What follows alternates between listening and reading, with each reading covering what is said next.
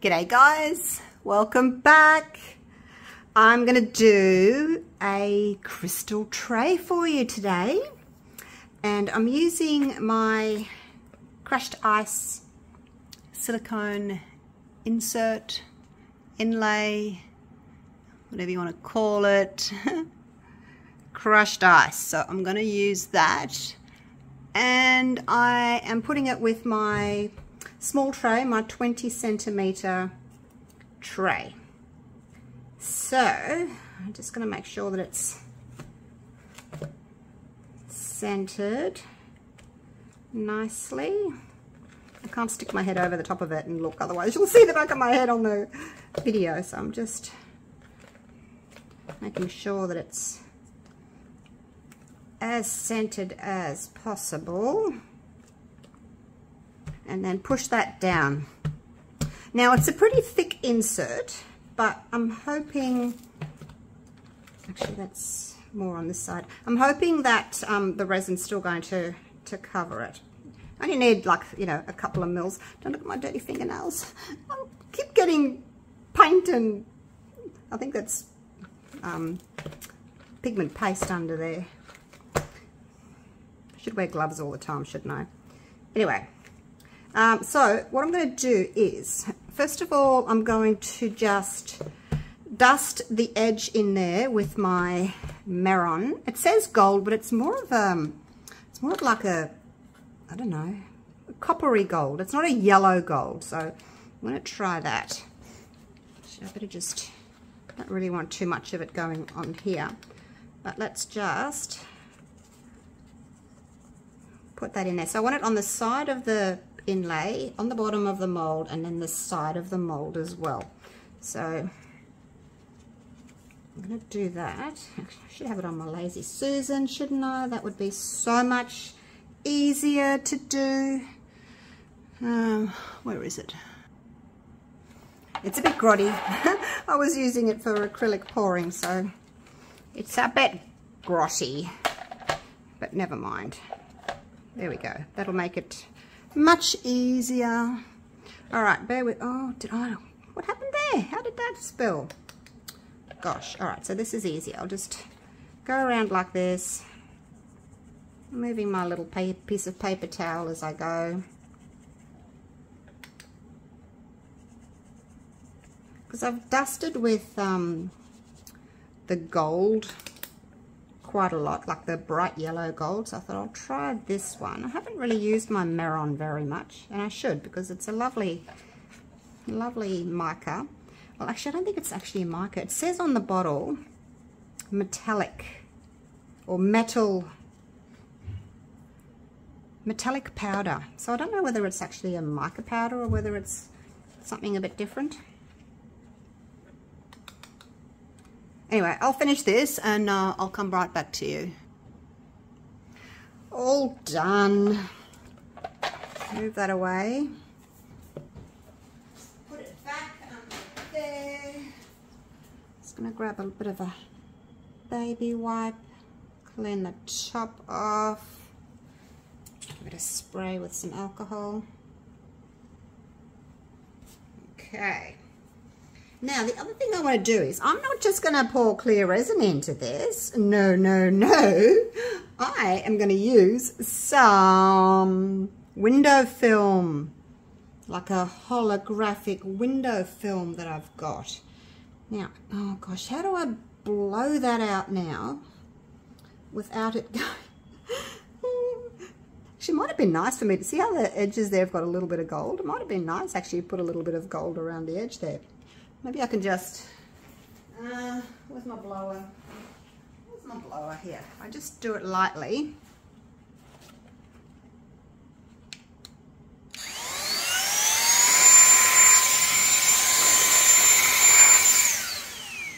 There we go.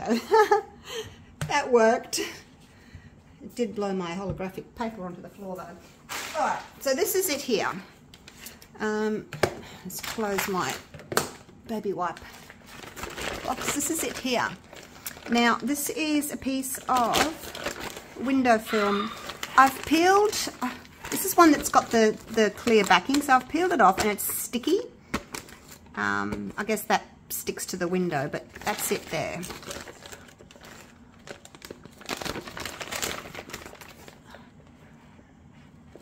Just, yeah, just holographic window film. You can get it on Amazon. So what I want to do, and I should have done this first, I need to make that, I need to cut a circle. Oh my gosh. See, I've never done this before. I need to get, it's all right. I've got another inlay. I'll go and grab it.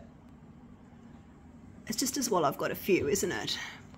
So basically what I need to do now is, I shouldn't move that. I'm gonna just put this here and hmm, I'm getting ink on it.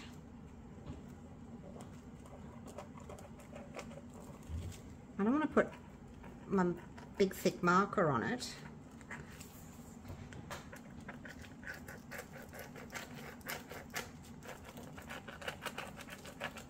Is that working? I will wipe the ink off the mold. There we go. All right, I'll clean that later. Now I'm just going to cut that out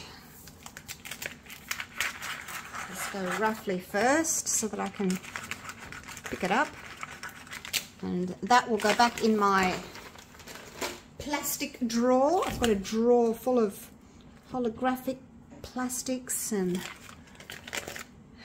holographic paper and all kinds of things. I'm just going to cut this on the inside of the black line so that the black's not getting transferred anywhere. I mean, I, I probably don't need to do this now because I'm not putting it on the piece just yet. What I'm going to do next is I'm going to mix up some resin and I'm going to use the Platinum River Table resin. Um, and I'm going to mix that up because it releases bubbles so, so well. And because it's got all these little nooks and crannies and crevices in it, um, you know, bubbles like to get trapped in there. So I'm going to use that resin. Um, a two to one resin that's nice and thin is always going to be a better option with something that's like that. Keep those, you can cut those up. So yeah, use, use a thin resin. Push that down again. So what will happen is, once I've poured the resin over, I'm going to let it set up for a little while until it's um, a little bit thicker. It's going to take quite a while because the resin, resin takes a lot longer to, to cure. So that's just going to sit, once it's sort of half cured, I'm going to just stick that over the top, okay? And then when we unmold it, I don't know what's going to happen. I don't know. We're just going to have to find out together, hey? So anyway, I'm going to mix up my resin now. Right, I have mixed up my resin. I'm using the River Table Resin. That's A and that's B. So when you buy it, you get two bottles of A and one bottle of B because it's a two to one. So two parts of A, one part B. So that's what I've used. And I mixed up 100 grams of A and 43 grams of B. Now this is similar, I guess, to um, what we'll be creating here, but this is on a smaller piece. If you saw my Christmas, oh yeah, it was Christmas ornaments, my Druzy Christmas ornaments, and then I had a bit of resin left, so I used that. It's a, in a four coaster, this one. That's what I, that's what I used. It's so cool, that's the back.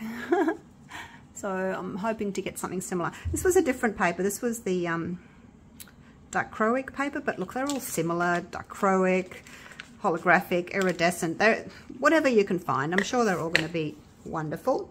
Now, uh, I'm going to just spray my, my mold just with a little bit of 100% isopropyl. That's it there. I buy the big, actually I'll show you, I buy the big bottles because it's much more cost effective. I buy the big bottle like that from eBay. And then I just fill this. I initially got this one from Bunnings. I think it was $29. Um, but I get this big thing for $39 with free postage. And then I just fill up bottles and then I put it in here as well for a little, a little spray. So there you go. Now, um, I wonder if 143 grams is going to be enough. Let's just start, hey? Because it's not, it's not going to be very deep on the top. We've only got a little bit of depth around the edges, so I'm not sure if I'm going to have enough. I couldn't, yeah, I don't know. Oh, it doesn't look as if I'm going to have enough, you guys. I might have to mix up a little bit more. We'll let it settle. Let it do its thing. Go to the edges. Now, I've never used the river resin on my druzy insert or this crushed ice insert or anything like that. Any of my, you know, textured inserts. So it'll be interesting to see how the bubbles release because this, it says on here, uh, low viscosity, which means it's thin. Well, actually, I think it's more of a medium. It's, it's like runny honey. Uh, specially formulated to release bubbles. So, yay! Look, look, there's bubbles on the side. They're, they're popping up. Um, oh gosh, do I need to mix some more? Look, I probably only need like another 50, another couple of ounces, I reckon. Let's just push all this to the edge and then I'll see.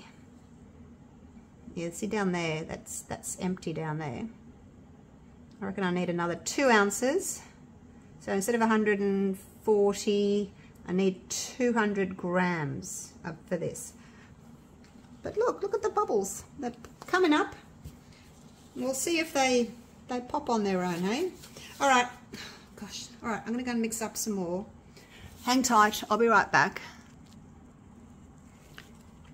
I actually mixed up 50 grams of A, 22 grams of B, and now it looks a lot. I didn't need that much, but anyway. Okay, now you can see the, the bubble there. They've, they've popped up, but let's just give it a quick little torch. I'll, I'll take it down in a minute and we'll see if there's any bubbles. The best way to see if you've got bubbles trapped is just to use your little torch. Try and get one that's got a really high lumen count. Um, I think that's what you call them. That's just a bit of dirt or something. Now I'm looking, I'm looking for bubbles. There's one. Let's bring it up to the top.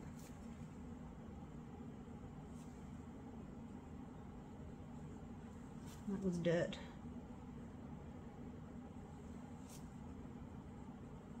Is that a bubble? Do.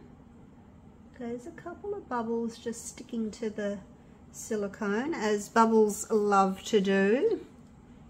But you can see them with the torch. I'm just cleaning out dirt as well.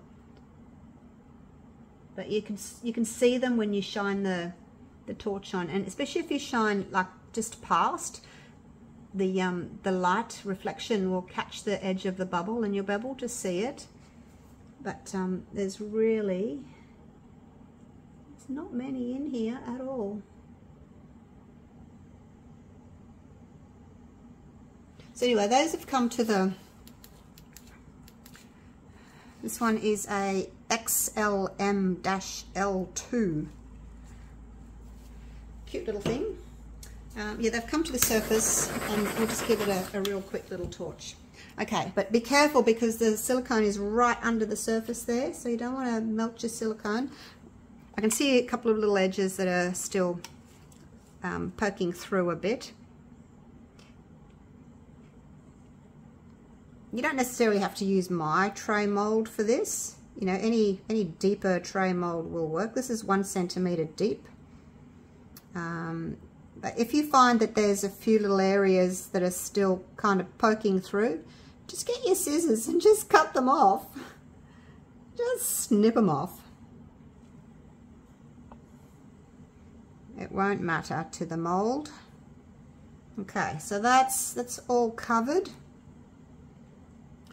So if you wanted to, I mean, you could put this down now, but the mold is full. So I think when you push that down and you start poking on it to get it flat, it's just, you know what it's going to do. It's going to all ooze out over the side. And I've done that before, so I'm going to just leave it. And I'm going to come back. No, it'll be later on tonight because this resin takes a long time to set up. Once I can touch the surface of the resin, um, you know, and it's still a little bit tacky, so you can touch it and it leaves a fingerprint. Then I'm going to come in and I'm going to stick that down. All right, so that's what I'm going to do. Um, but I'll keep coming back and I'll check it on in about 10 minutes or so and see if there's any more bubbles.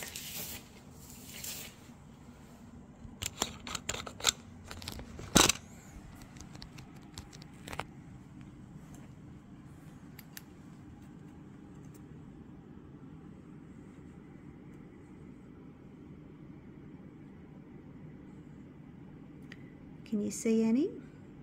See, look at that there, and then you look at that there. Like, you know, it's difficult to see, but I think it's easier with the torch.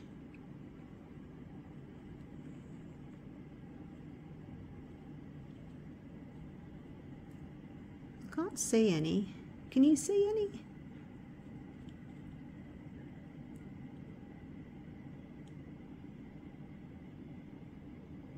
Don't know. I'm looking through the screen, so I'm not looking at it properly. But anyway, there it is.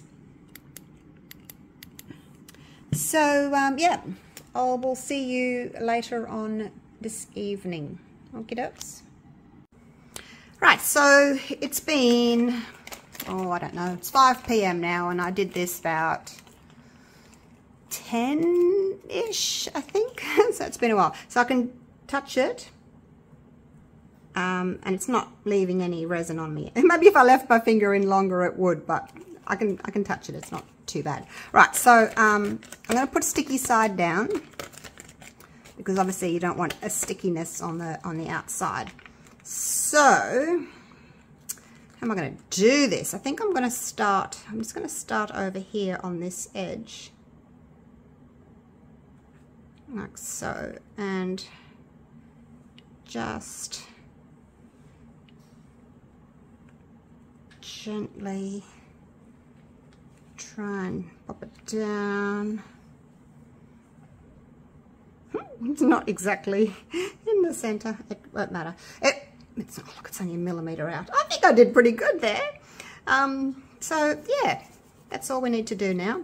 Uh, you can, if you want to, I guess, get a little pop stick and try and smush it down. It's never going to be totally, totally level. Oops. Put some alcohol on my finger and just pop that in. See, it's still, it's still sticky. My stick fell into it.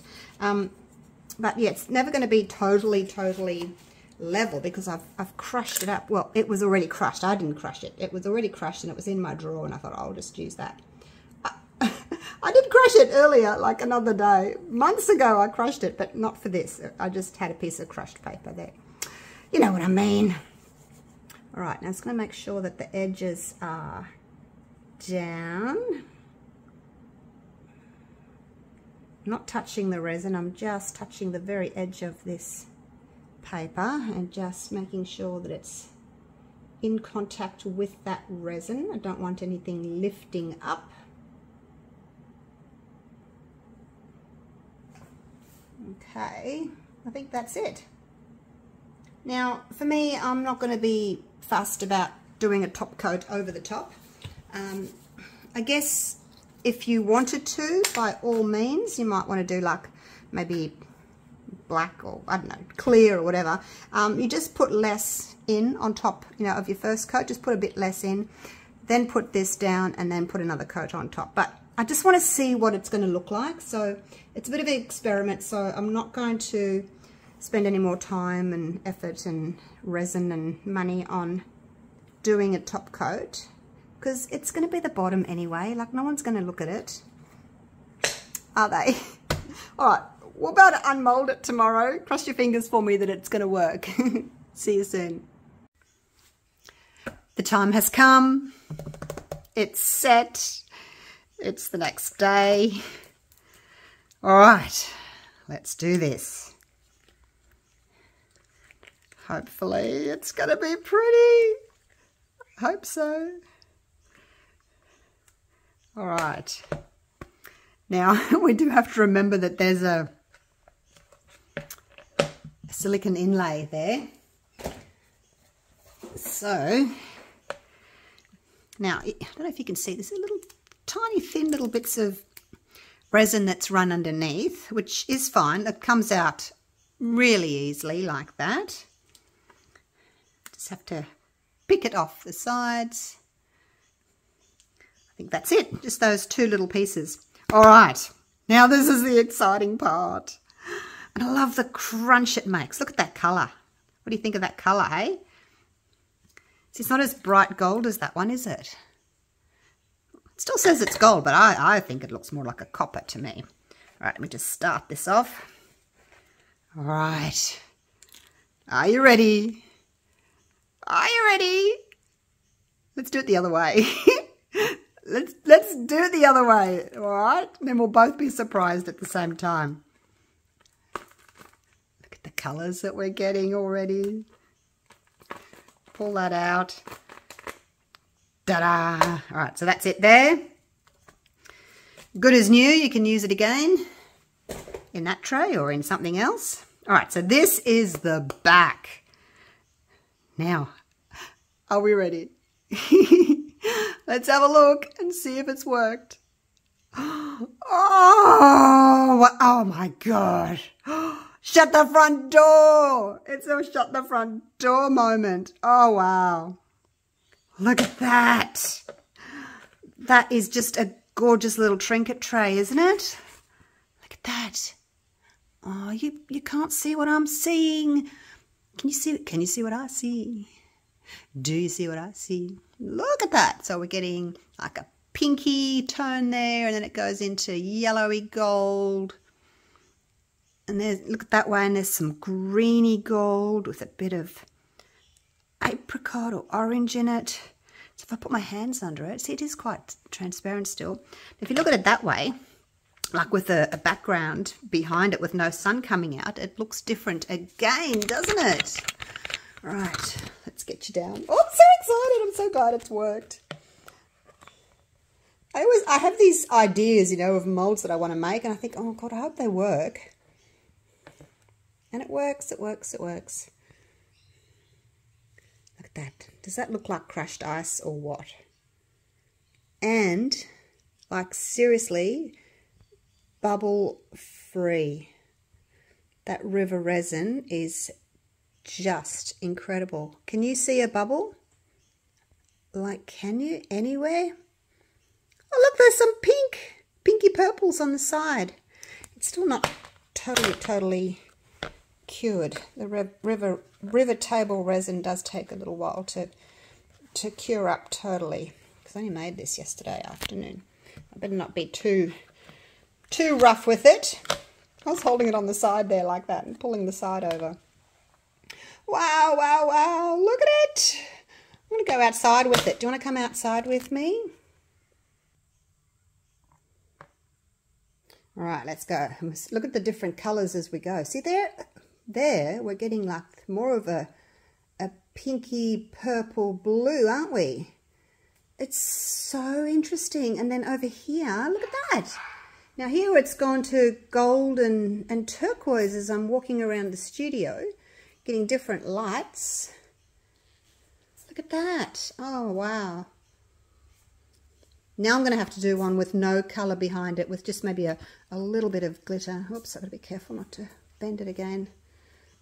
And then as we get closer to the sliding door with the natural light, look at that. Actually, maybe I won't go outside. Wow, I'll just hold it up here. look at that. That's in front of the window. wow, it's so different. Oh, wow, that is just incredible, isn't it? The difference. And we'll bring it back in here. And then this is against my, my black table, black tabletop.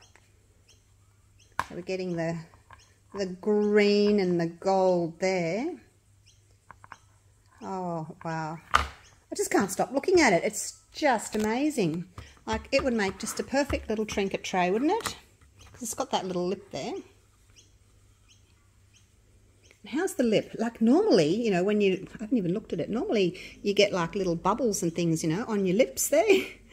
Nothing worse than a bubbly lip, guys. Can't stop looking at it. anyway, there it is. Crushed ice insert, inlay, whatever you want to call it. Available in my eBay store if anybody wants one. Um, yeah, you don't have to buy my tray to go with it. I mean, it, if you do, it, it, fits well. You can see it fits in there. Um, but you already may have a tray, you know, that, that will fit it.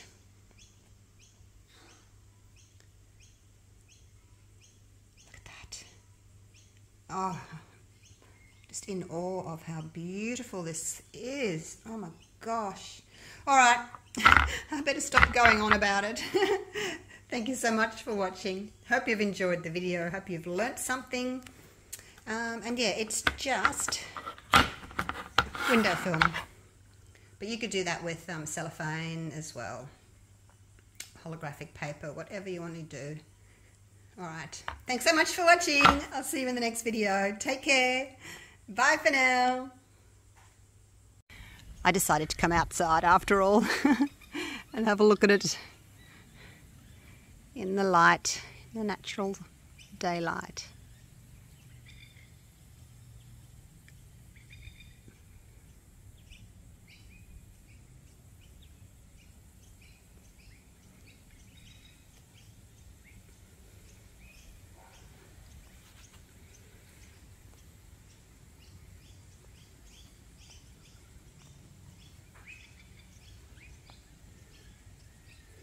There's Izzy. Hello, Izzy.